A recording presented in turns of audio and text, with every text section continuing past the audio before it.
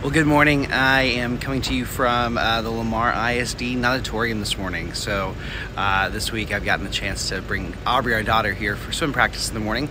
Um, she's competing um, for a, uh, she'll be competing at state next week in Brownsville. Um, so this is the first year she's ever done swim. So we're excited for that. It's something Lauren did in high school, and so it's fun to see our daughter enjoying that as well.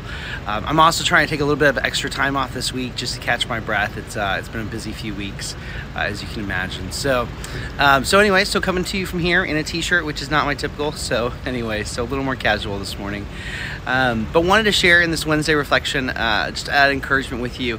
So one of the things that God's blessed me with over the last sort of six months to a year is um, we began looking at the transition of possibly coming to Cornerstone and, and me moving into a completely new role as a lead pastor.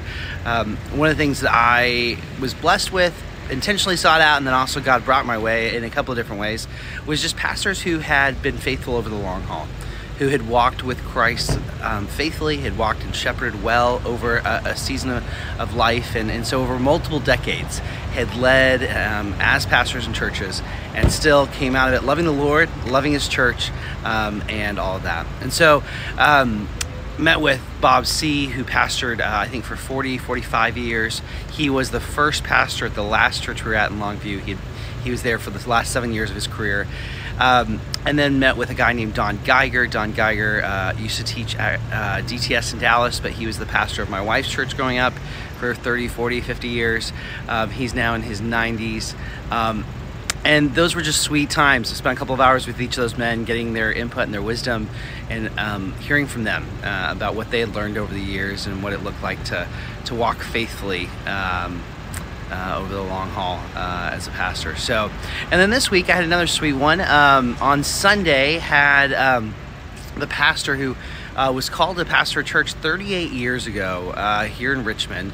Um, and then 36 years ago, he was the pastor under which this preschool that's now coming to our church was established. Um, so that preschool's been around for 36 years, and and he retired just before COVID. But he served faithfully for 30, 40, 50 years, uh, 30 or 40, 45, somewhere there, uh, years in different churches. And, um, and so I saw him on Sunday and got to meet him, which was great. And, and I said, John, you've got a joy uh, in your in your eyes and a sparkle in your eye and in your voice of being here on Sunday morning. It's clear that you love being with God's people, that you love worshiping Him, you love the church. Um, John, I'd love to get together with you and hear like what, how did you, how did you do it? How do you get to this point in your career and you still love the Lord, you love His church?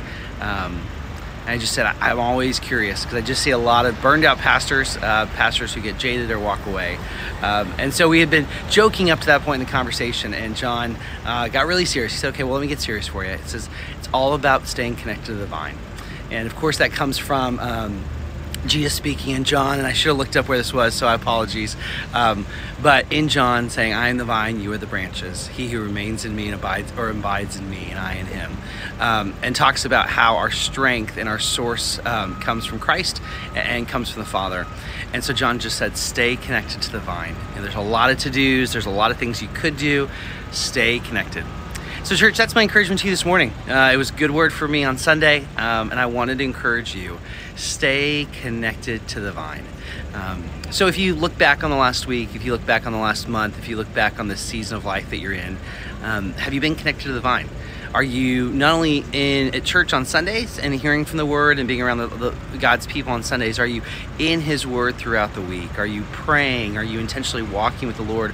Are you abiding with Christ? Which can look like a lot of different things. I think the, the things that it does look like is you're hearing from Him, you're hearing from His Word, um, you're seeking to walk with Him uh, and walk in faithfulness, but you're also saying, Christ, let me become more like you. Are you fixing your eyes on Christ?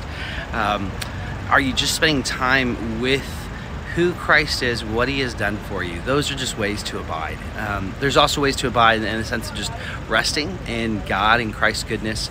Um, I had a uh, somebody reminded me of the Mary and Martha story yesterday. Kristen, actually, one of our our, our, our staff members, our children's director, uh, was just sharing uh, her devotional with the staff yesterday. It was so good uh, and convicting, and she shared about Mary and Martha from um, from John 10, I believe, Luke 10, Luke 10, maybe.